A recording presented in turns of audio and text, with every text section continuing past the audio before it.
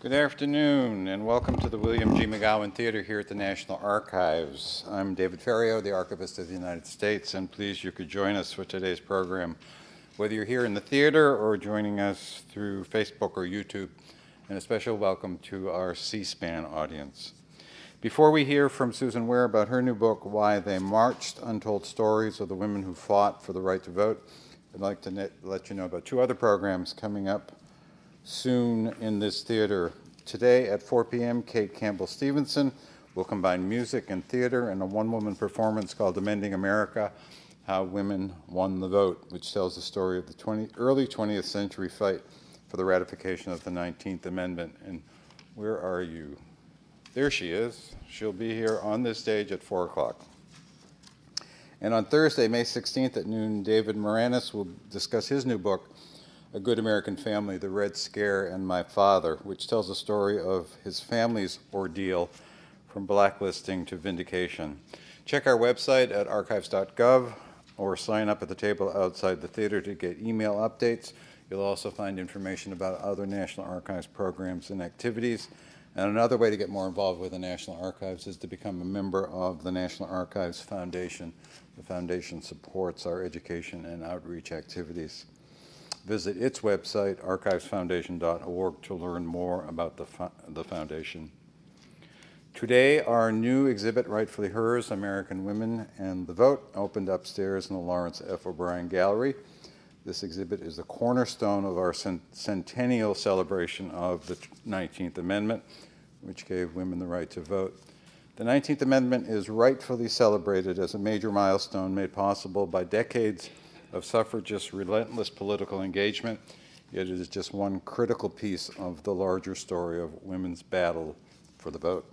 Rightfully Hers begins with the suffrage, with the struggle for suffrage, but doesn't end with the 19th Amendment's ratification.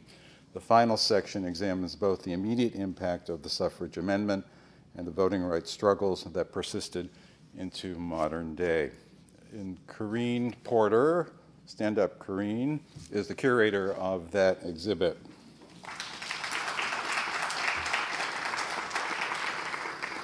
One of the goals of the exhibit is to recognize both the broad diversity of suffrage activists and the many bases on which American women have been barred from voting.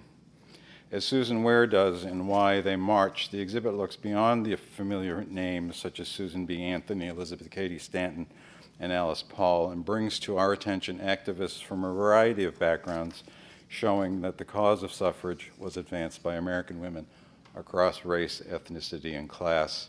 Susan Ware, a pioneer in the field of women's history and a leading feminist biographer, is the author and editor of numerous books on the 20th century U.S. history, including American Women's History, A Very Short Introduction, Still Missing, Amelia Earhart and a Search for Modern Feminism, and Letter to the World Seven Women Who Shaped the American Century. Educated at Wellesley College and Harvard University, she's taught at New York University and Harvard, where she served as editor of the biographical dictionary Notable American Women, completing the 20th century. Since 2012, she has served as the general editor of the American National Biography, where has long been associated with the Schlesinger Library at the Radcliffe Institute for Advanced Study, where she serves as the Honorary woman Suffrage Centennial Historian. She's also a member of the National Archives Foundation's Honorary Committee for Rightfully Hers and participated in our charrette before creating this exhibit. Ladies and gentlemen, please welcome Susan Ware.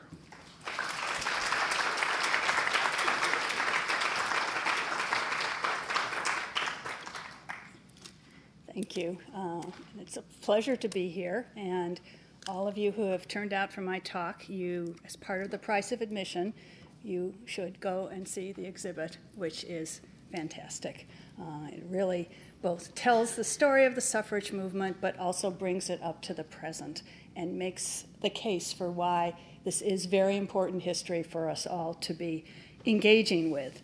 Um, and so I think that being here today on the opening day is, is a, for me also a perfect way to launch my book, which was just published on Monday. So this feels like a, an exciting event. Um, Why They Marched is a book of stories about women's struggle for the vote, told through the biographies of, of um, told through biographies and objects. So it seems appropriate to start with one of those objects, a tree plaque. And the story behind it. In the spring of 1919, just as women's suffrage leaders were facing the final arduous process of winning ratification of the 19th Amendment, Carrie Chapman Catt and her longtime personal companion and fellow suffragist, Mary Garrett Hay, bought a 17 acre farm in Westchester County called Juniper Ledge. Soon after moving in, Catt commissioned a series of 12 metal tree plaques memorializing the giants of the suffrage movement. Women like Elizabeth Cady Stanton, Susan B. Anthony, Lucy Stone, Frances Willard, and Anna Howard Shaw. And later that summer, she carefully installed the tree plaques throughout the property. Now, suffragists had a deep sense of history. Uh, in many ways, they were our, our first women's historians, and they had begun documenting uh, this history long before the movement was successful.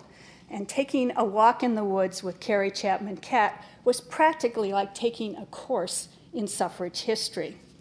But as charming as Carrie Chapman Catt's woodland tableau was, it provides an imperfect model for this book, which aims to probe more deeply into some of the more complex and hidden pockets of the history of the struggle for the vote than suffragists at the time were willing to acknowledge. Racism is an obvious place to start. Consistent with the deep seated prejudices held by most white suffragists, Catt included no plaques to commemorate the thousands of African American women who participated in the struggle. Then there's Eurocentrism. The international suffragists in, honored in, in Catt's suffrage forest were all from Western European countries, not from countries in South America, Asia, or Africa, which Catt condescend- condescendingly believed needed to look to first world women for guidance. And add to that regional chauvinism, all the domestic suffragists were from the East Coast, with New York State heavily overrepresented. No one from California, no one from the West, and no one from the South, unless you count the Grimke sisters, who were born there but left because of their abhorrence of slavery. And finally, it is hard to ignore a clear personal snub. No plaque for her rival, Alice Paul, whose upstart National Woman's Party caused much consternation for Catt and her mainstream organization in the final stages of the suffrage fight. For too long, the, the history of women's suffrage has put forward a version that closely parallels Carrie Chapman Catt's suffrage forest, a top heavy story dominated by a few iconic leaders, all white and native born, and the national organizations they founded and led. Moving decisively away from that outdated approach uncovers a much broader, more diverse suffrage history waiting to be told. This new suffrage history shifts the frame of focus uh, away from national leadership to highlight the women and occasionally the men who made women's suffrage happen through actions large and small, courageous and quirky in states and communities across the nation. Telling these stories, these suffrage stories, captures the broad based movement where it actually happened on the ground. Now, over the long durée of the suffrage campaign, women who had never before participated in politics suddenly found themselves doing things they never would have thought possible filing lawsuits, holding public protests, collecting signatures on petitions, lobbying members of Congress, marching in suffrage parades, even risking arrest and imprisonment for the cause. Women may not have fundamentally changed politics when they began to exercise the franchise. And as an aside, I would ask Does anyone ever hold men to that standard? Um, but leaving that question unanswered, many women's lives were profoundly affected by participation in the struggle to win the vote. And my book, I hope, captures those personal and political transformations. But history isn't just made up of written documents and texts. Objects and artifacts play key roles as well, especially in the creation of personal and group identities. And this insight is especially relevant for a social movement like suffrage, which came to embrace popular culture and public spectacle as a primary strategy to win support for its cause. Suffrage objects like buttons, banners, leaflets, and posters are especially evocative in connecting everyday lives with the broader movement. In many cases, they literally were, to borrow a phrase from novelist Tim O'Brien, the things they carried. So, this diverse cast of characters, broadly defined to include both human actors and inanimate, inanimate objects, hints at the richness of suffrage history waiting to be tapped. And my stories cover the span of the suffrage struggle, but with a definite tilt, lilt towards the 20th century.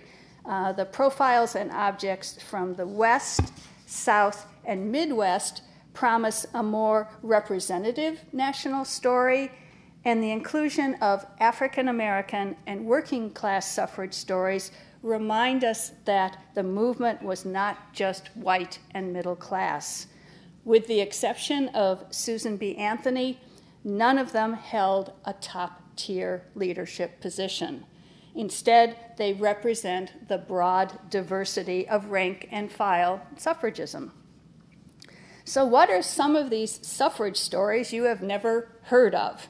Let me start with the cookbook published by the Washington Equal Suffrage Association as part of their successful campaign to pass a state suffrage referendum in 1910.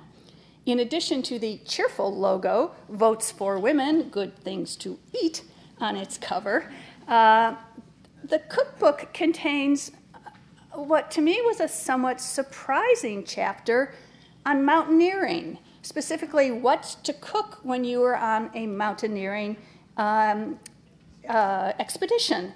And so I used that to set up the story of Cora Smith Eaton, a pioneering Western physician. She was the first woman licensed to practice medicine in North Dakota who served as treasurer of the Washington State Suffrage Organization. Eaton was also an avid mountaineer who climbed all seven major peaks in the Mount Rainier Range and planted a Votes for Women pennant on the summit of the Columbia Crest in 1909. Unfortunately, that pennant has not survived, or I would have chosen that object to accompany her biography. Then, oops, then there's the first issue of the Salt Lake City periodical, The Woman's Exponent, from June 1st, 1872, which mentions, whoops, no, that went, went by too fast. Oh, there we go. There, here we have it. But you're still not going to be able to read this small type, so I will tell you that this front page mentions both Susan B. Anthony and polygamy and that, that sets up the story of its longtime editor, Emmeline Wells, a polygamous Mormon wife who was also an avid suffragist. Now, Utah holds a special place in suffrage history because the territory enfranchised its women in 1870. Wyoming was the first territory in, in 1869. However, unlike Wyoming, since the vast majority, majority of Utah voters were Mormons, it proved impossible to separate voting from the issue of polygamy. And suffragists split between gingerly acknowledging Mormon women as allies versus emphatically refusing to have anything to do with them. And the story of Emmeline Wells's suffrage career shows how the seemingly straightforward question of votes for women became entangled in one of the most hotly contested legal and moral questions of the 19th century. This poster from the International Woman Suffrage Alliance Conference in Budapest in, two, in 1913 reinforces the international dimensions of the suffrage cause and sets up the story of a local favorite, Mary Church um, Terrell, an African American suffragist. Terrell's suffrage philosophy was built around an intersectional vision that embraced race as well as gender, an implicit challenge to white suffragists who tended to focus only on the subordination created by their sex. Her vision for suffrage and race relation was also grounded in an international framework that placed the domestic situation in the United States in dialogue with customs abroad. But when she spoke at foreign conferences, such as the International Council of Women in Berlin in 1904, she was often the only woman of color in attendance. Hazel MacKaye came to suffrage from the world of theater. Her claim to fame is staging a pageant called Allegory, right here in Washington, on the steps of the Treasury building as part of Alice Paul's suffrage parade timed to coincide with Woodrow Wilson's inauguration in 1913. And this is something that you can learn more about in the exhibit. Led by the commanding figure of Columbia, and this is a commanding figure if there ever was one, approximately 100 actors, all female except for one boy, staged a series of tableaus as marchers streamed past on Pennsylvania Avenue. MacKaye demonstrates the bold ways that suffragists took over public space and deployed spectacle to build support for their cause. And finally, a personal favorite a totally unknown Massachusetts woman named Claiborne Catlin, who in 1914 decided to ride across the state on horseback, alone, and without having raised any money, which meant she was dependent on donations to cover her expenses and also to feed her horse. Um, and she did this in order to rally support for the cause. Over the course of four months, she organized 59 meetings, visited 37 cities and towns, and covered 530 miles all of her personal belongings, plus a parcel of leaflets, a horse blanket, and a shoulder strap which said Votes for Women, had to fit in a pair of brown canvas saddlebags, which she later donated to the Schlesinger Library at Radcliffe. Now, Claiborne Catlin is an example of an ordinary woman who was driven to do extraordinary things in support of the suffrage cause. Uh, other stories describe a husband and wife team, two sisters who were on opposite sides of the suffrage divide, a lesbian couple whose neighbors dubbed them the farmer suffragettes. I don't think that was a compliment. A best selling Southern novelist who wrote a suffrage novel that tanked, an artist who gave up her painting career to become a suffrage cartoonist, uh, an African American activist, Ida B. Wells, who refused to march in a segregated suffrage parade, and several more I don't have time to mention.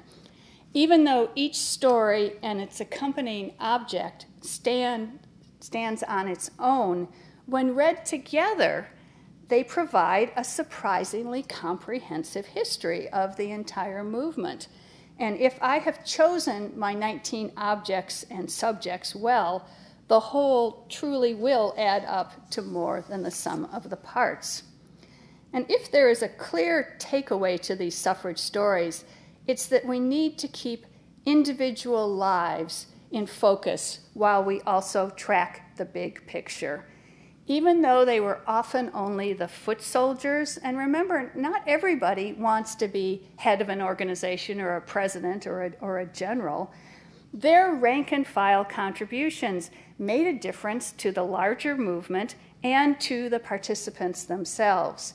Their hard fought suffrage victory, the culmination of three generations of sustained political mobilization and spirited public advocacy, represented a breakthrough for American women as well as a major step forward for American democracy. Important as the goal of suffrage was, however, the struggle was always far broader than just the franchise, speaking to fundamental questions about women's roles in politics and modern life. Who gets to vote also raises profound questions about the relationship between citizenship and suffrage over time. Think of suffragists as the voting rights activists of their day. Now, the suffrage campaign honed women's political skills, and they put those skills to good use in the decades after the vote was won. In this enlarged perspective, the suffrage victory is not a hard stop but part of a continuum of women's political mobilization that stretches across all of American history, not just between Seneca Falls in 1848 and the ratification of the 19th Amendment in 1920. It is still appropriate, indeed welcome, uh, to celebrate the upcoming centennial as an important marker in American women's history. But rather than positioning 1920 as the end of the story, it is more fruitful to see it as initiating the next stage in the history of women's political activism, a story which is still unfolding. Another reason for decentering 1920 concerns the plight of African American voters, for whom the 19th Amendment was at most a hollow victory. Uh, in 1920, the vast majority of African Americans still lived in the South, where their voting rights were effectively eliminated by devices such as whites only primaries, poll taxes, and literacy tests. For African Americans, it was the Voting Rights Act of 1965, not the 14th, 15th, or 19th Amendments, that finally removed the structural barriers to voting. And in a parallel disfranchisement, few Native American women gained the vote through the 19th Amendment either. Now, in addition to the importance of women's suffrage for American political history, women's demand for the vote emerges as an integral part of the history of feminism. Because to protest women's exclusion from voting demanded an assault on attitudes and ideologies that treated women as second class citizens. And to formulate that challenge involved conceptualizing women as a group whose collective situation needed to be addressed. And even though white suffragists were often clueless that they were speaking primarily from their own privileged class and race positions, the growing consciousness of women's common concerns fostered a sense of sisterhood unusual in early 20th century America. The fact that certain groups of women, especially women of color, were often excluded from representations of this supposedly universal vision demonstrates how racism intersected with feminism throughout the women's suffrage movement and its aftermath. Contemporary feminists have significantly broadened their commitment to recognize the diversity of women's experiences and work hard to include multiple perspectives within the broader feminist framework, but it is still a struggle. The suffrage movement is part of that story, warts and all. Stepping back, I see a direct line from the spectacles of the suffrage campaign to the sea of pink pussy hats worn at the women's marches held across the country, indeed around the world, in January 2017 to protest the inauguration of Donald Trump. The playbook that suffragists pioneered, right down to their distinctive colors and seizure of symbolic public spaces provides a clear blueprint for the mobilization of women in our contemporary political landscape. The wave of female candidates in last year's midterm elections and the unprecedented numbers of women who have already declared they are running for president in 2020 are another clear legacy. The diversity of these candidates, black, Latina, Muslim, Asian, Jewish, may seem like an aberration when set against the all white history of suffrage that historians used to tell. But these breakthroughs directly build on the demands for fair and equitable access to the political realm that were central to the struggle to win the right to vote in the first place.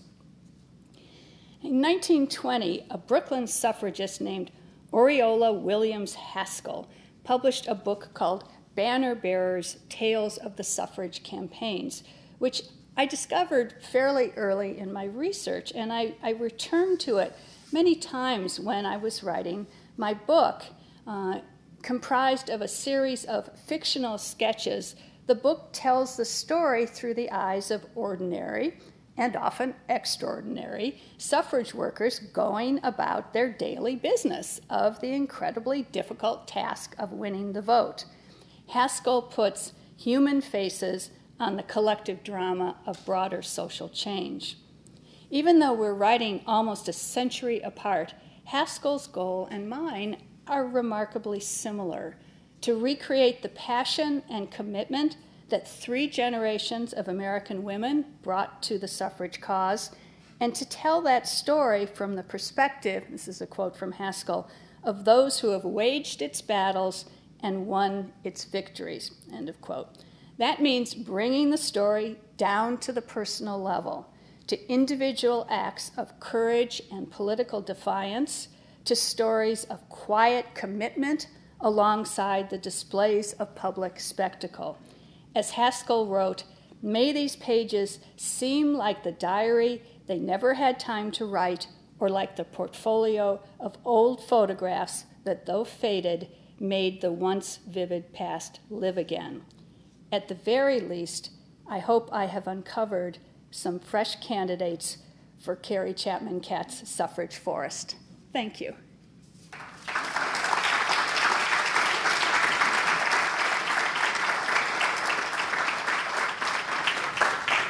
And I'm happy and eager to take questions, but you have to cooperate by coming to a mic on either side of the auditorium.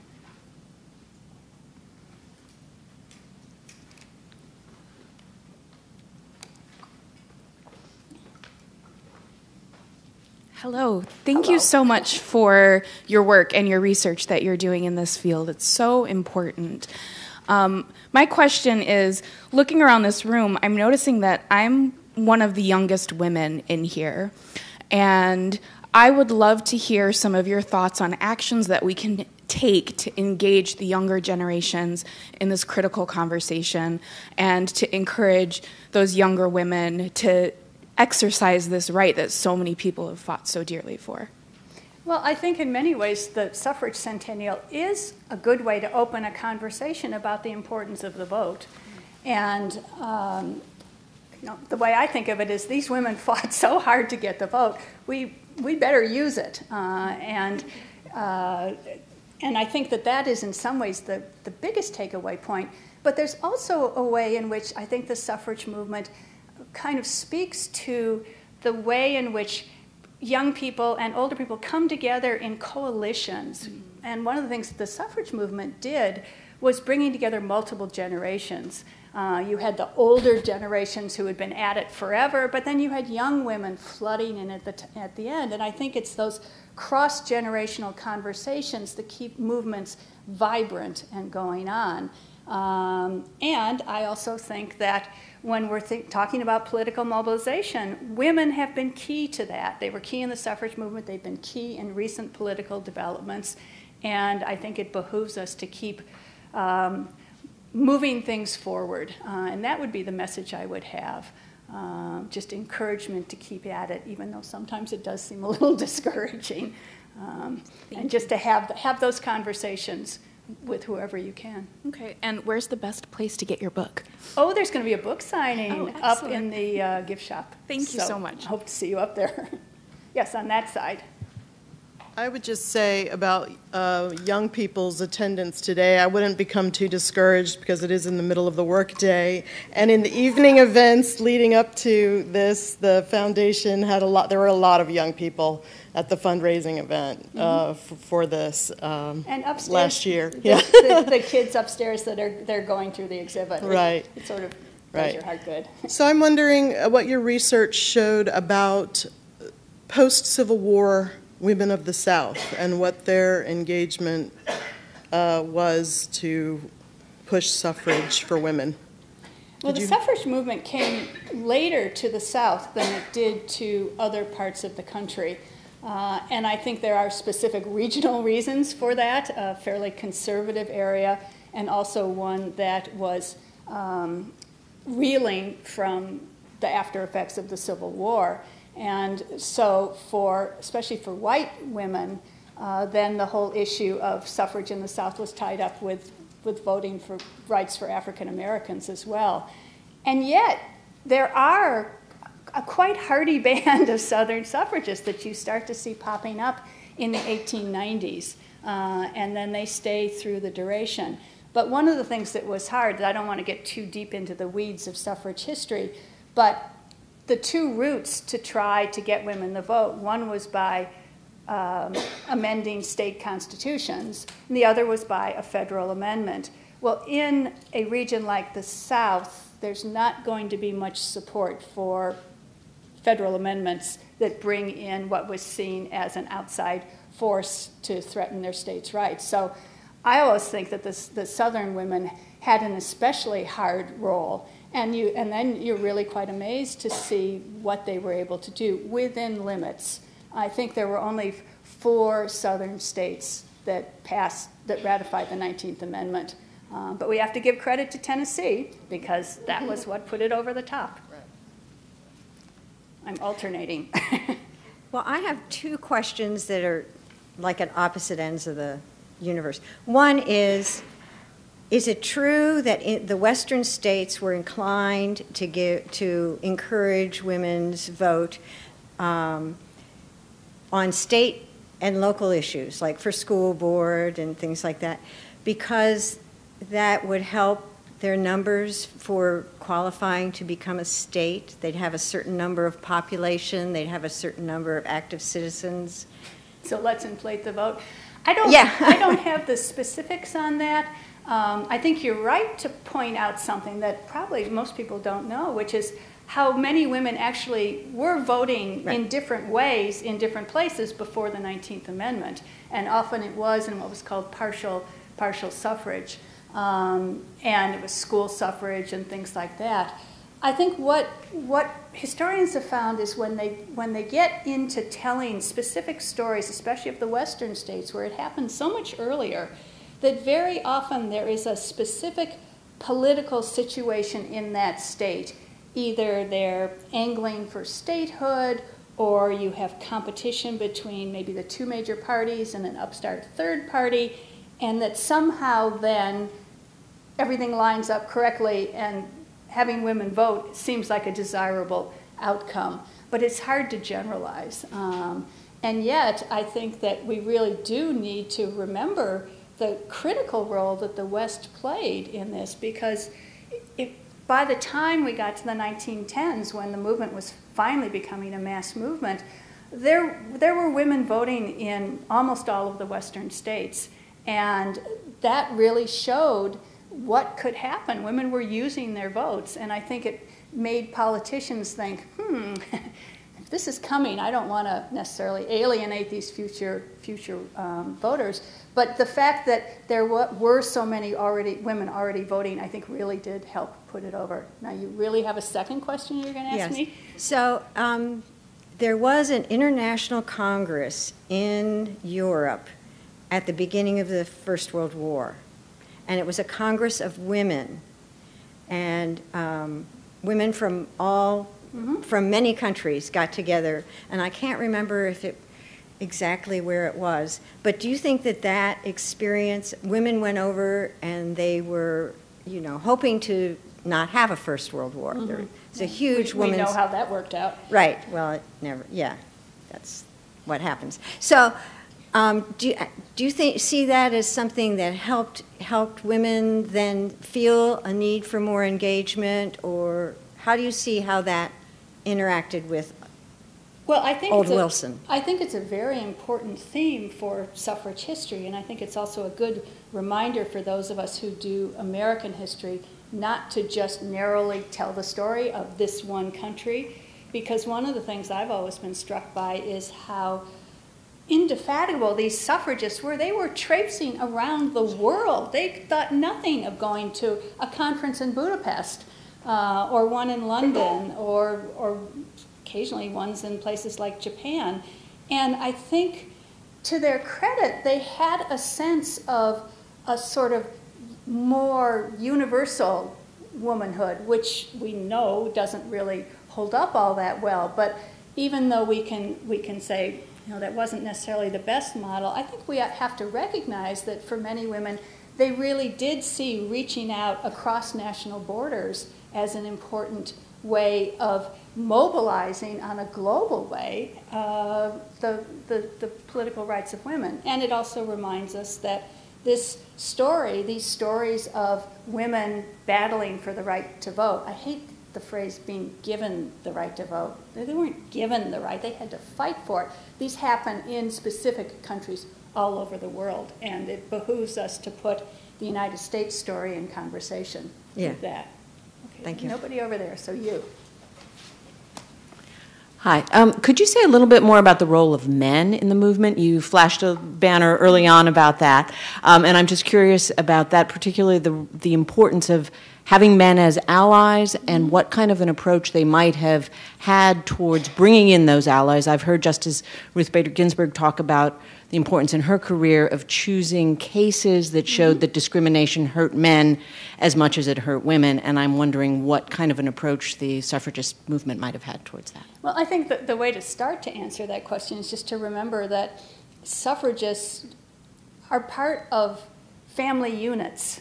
You know, they're not they're not just on their own, and so and many of them are married, and so if a woman signs on full time to be a suffragist, it's going to have an impact on the way things used to be on the home front. You know, she might not always be there at dinner time, and she might be rushing off to Ohio to campaign. And so you really did need often to have a supportive husband who was willing to go along with it. Um, but much more broadly than that, I think that by certainly by the last decade, uh, the suffragists, the female suffragists, realized that having separate organizations of men that were de- deliberately saying they're supporting women's suffrage could be a good political tool. And so when you had these various suffrage parades and marches, and especially in New York City, uh, the men would march separately with their banners, like the, like the Harvard banner, uh, in support of the women. And I must admit, I, I have a, a, couple of places in my, in my book where I talk about that, and it, it does give me a certain satisfaction because for so long in history, women have always, their associations have always been there to help the men's associations. And here we have a case where the men's association is not trying to lead, it's not trying to take over, it's just trying to be supportive. And so they're out there lobbying and marching and whatever. So I think that's an, I think that's an important part of the story. Uh, and luckily, I found a, a married couple that I could tell their story. And, and the guy, Ray Brown, wrote a charming pamphlet called How It Feels to Be the Husband of a Suffragette, which I highly recommend. yes. I live and vote in the last colony in North America, Washington, D.C., and I think a lot about the, uh, the parallels of, of, dynamics and campaigns and so on with the campaign for women's right to vote. Uh, and in the women's campaign, every senator had a mother, and yet they still thought women weren't qu- quite real people. Uh, and D.C. won't get statehood. Uh, we have no congressional voting rights that the white man feels bound to respect un- unless we change the hearts and minds and wake up the uh, hundreds of millions of Americans who, who, who have uh, senators and, and such like. Uh, you know, how do you do that? Uh, there are just so many issues involved in who's, who matters and who's real and what can you do about it and when is the same dynamic at, deep, at a deeper level. And I maintain the reason the country is the way we have with the national debt and war in Afghanistan is because it starts at home that we're not real people and we're, people are blind and deaf to us. And how do you change it? I'm not going to have a full answer to that. Well, I want you to keep on thinking. It shouldn't be a, a fly-by answer. It should be keep on thinking. No, and I think that one of the things that, that I've really noticed about just trying to figure out what was it that finally got this, the 19th Amendment through. And you really, you know, you can point to certain factors like entering World War I and the years of mobilization, of political mobilization, and the militants of the National Women's Party, and it all comes together. But sometimes it's just there has to be that constellation of of preconditions that make something like that happen. And with getting votes for the for the District of Columbia, you've had several moments I mean, where you got it. You know, you at least got it to go to the states, right, or got it passed, and and it just didn't have that forward. But you know, the suffragists would say they would say onward, just just keep trying. So yes. One of my arguments is that we're like colonials, and colonialism isn't healthy for anyone, for children and other living things. And the rest of you all are like co-colonials, which is like being co-alcoholics. It isn't healthy for you too. And so we need to find that kind of argument of why it matters to everyone. Uh, I think you have a lot of support in this room. Yes. What suggestions would you have for how we can use the celebration of the passage of the 19th Amendment to advance the women's cause today? It sounded to me from what you were saying that you've thought about that. You've thought about uh, the suffrage movement as a precursor to other things that have happened in women's rights. What issues do you think are really important right now that might be a part of our conversation about the celebration? Well, let me, let me step back and answer that a little more broadly. Um, one of the reasons I decided that I wanted to write this book several years ago, more than several years ago, um, was that I was looking ahead to the centennial. And I thought that this might be a moment where we really could have, be having public conversations about women's history and, women's, and women in politics. And this was something that I really wanted to be able to encourage and to participate in. Because one of the things that I've always tried to do as a historian, I've mainly written on 20th century history and the history of feminism, is to try and keep my historical work in conversation with where we are today. And I don't think I need to tell any of you that there are all kinds of reasons why the history of women's activism and feminism is an important discussion to be having today. Uh, I think right now, maybe it's just because I'm so deep in the suffrage story, I just keep thinking about the importance of the vote. And um, I really do think that issues of voter suppression and redistricting and whatever, these are ways of trying to keep people from voting, and we need to really be pushing back on that and also encouraging women to register, women and men, to register to vote and then to actually vote. Um, I know at times it's hard because you think, well, why does my vote matter? And there have been points in my life where I've thought, you know, does this really make a difference? But I just think we have to keep trying. And so for me, it comes back a lot to voting rights. Uh, and I think we have plenty of areas where it's clear that, we, that voting rights are under attack. Uh, and that that to me would be the highest priority. Do you think the passage of the ERA is uh, important? Well, I sure wish it had passed back in the 1970s and, and we had it on the books. Whether with all the pressing problems we're facing today, whether that I would put at the top of the list, I'm not sure anymore. I mean, luckily, someone earlier mentioned Ruth Bader Ginsburg. The laws have changed in ways that women have through the 14th Amendment many of the protections that would have come from an equal rights amendment. And there are also many state ERAs that are, that are in force. Um, but the main reason for doing it is it, is su- it would be such a symbolic statement of support. And so, so I'm of two minds, but I'm, I'm, I actually would have thought it was dead in the water, but it seems to be having another life. So we'll see. Yeah. Uh, one question about the woman in the middle, uh, our own local uh, heroine, uh, Mary Church Terrell. Uh, she's a, um, I always, I'm a native Washingtonian. I've always thought of her first and foremost as a civil rights activist. Integration. Uh, if, um, those of us who are, live here know that there's a place, Ter- Terrell Place, right I up just- across, walked by it just on. Seventh Street, the old Hecht Company. I mean, if you want to talk about that, but but she had the additional issue besides the race and the uh, sex issue. She was a native, as the uh, previous questioner asked. She was a native of D.C. We have no Yeah. no home rule in D.C., particularly in her time.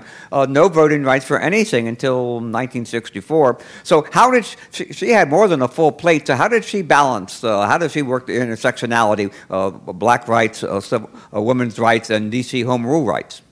Well, I think in some ways the answer is she.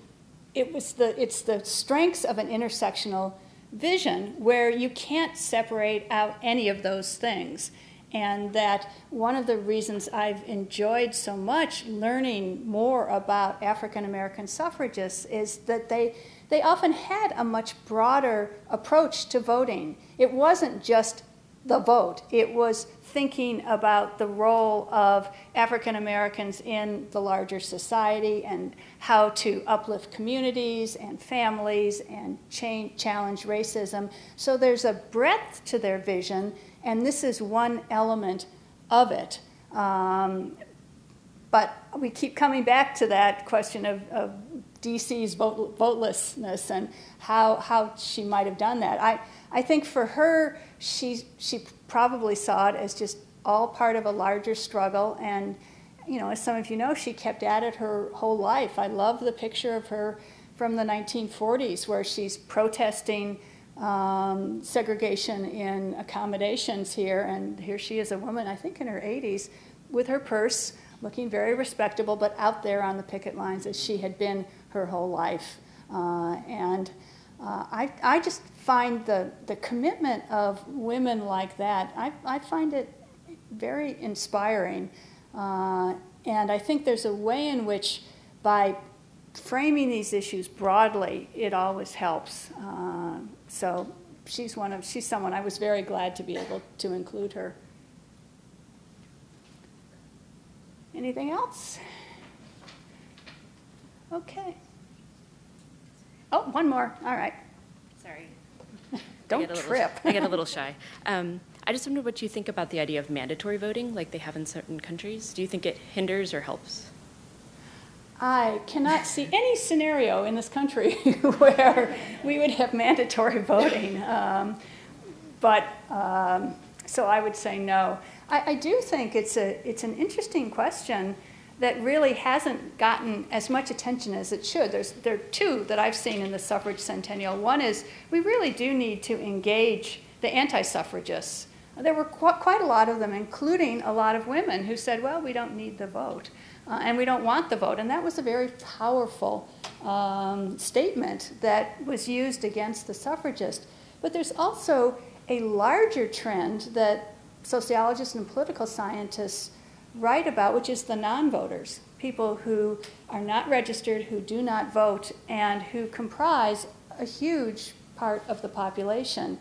And I do hope that as we're thinking about women's struggle for the vote and what it meant, that we can be thinking about ways of, en- of enlarging that conversation to think, well, who's not voting and why, and is there a way of bringing them, bringing them in? Uh, and so that would be one of the questions I would really want to put, put on the agenda.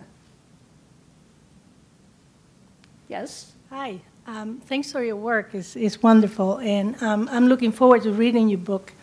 But I was wondering if you cover in the book or in your research the intersectionality between the women's movement and the pro-choice movement, and how they, they two go hand by hand, and historical all the way to the present time, and the place we find ourselves right now, with the states going the way they're going in terms of the pro-choice movement. Mm-hmm.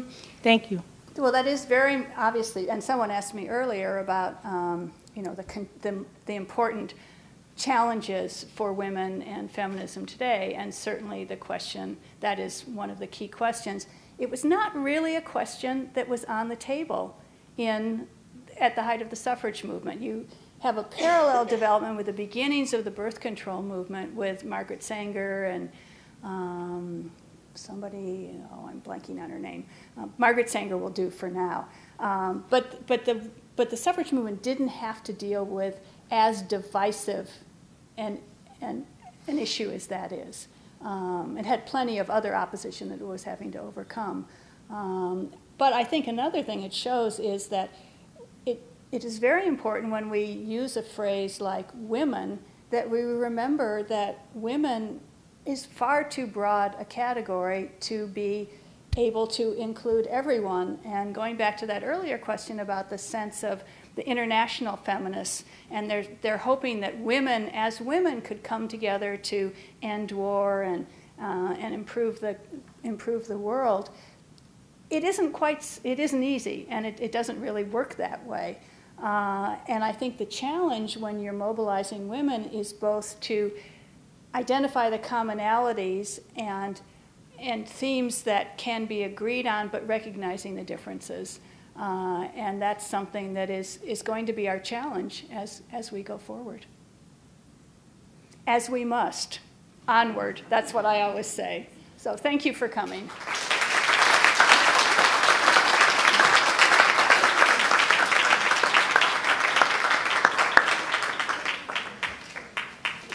And there is a book signing one level up at the Archives bookstore. The books are at the cash registers. We'll be up there in just a few moments.